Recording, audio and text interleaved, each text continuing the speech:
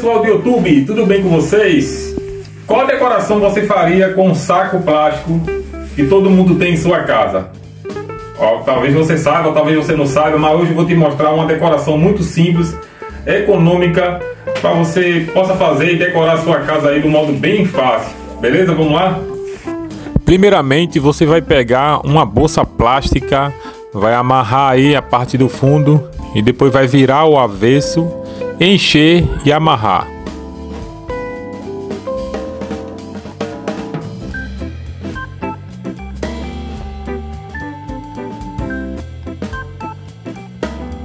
Agora você vai pegar tinta acrílica branca, pigmento azul, depois tinta acrílica branca e pigmento violeta. É só mexer e está pronto. A cor pessoal é opcional, ok? Essa daí eu fiz porque era a que eu tinha aqui em casa. Pronto pessoal, com a bolsa amarrada, com auxílio de um pincel, você vai pegar a tinta e vai passar nesse fundo dessa bolsa. Lembrando que não é para passar no meio, ok? Não é para passar no meio, senão vai perder o detalhe da flor.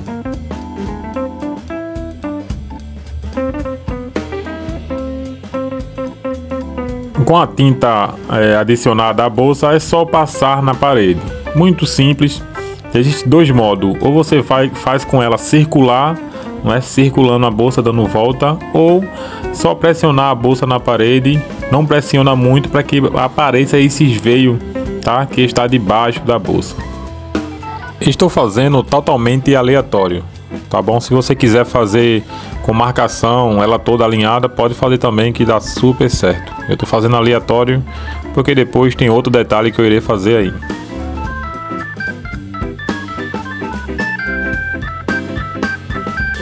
Não esquece do centro, ok? Não pintar o centro. Vamos lá.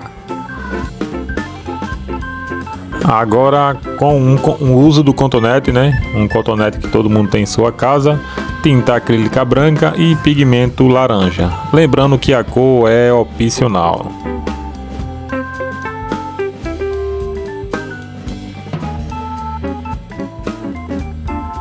Com pigmento preto e tinta acrílica é, branca, eu vou fazer esses veios aí tá?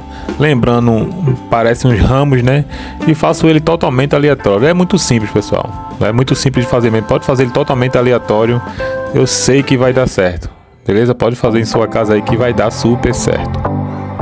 Depois de passar é, essa tinta preta, você pode estar tá passando também dando uma demão de verniz, verniz acrílico à base de água.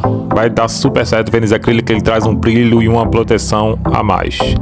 Ok? Desde já eu peço, se inscreve no canal, curte, compartilha, comenta aí, me diz como é que ficou aí, porque você estará ajudando a minha bastante aí, ok?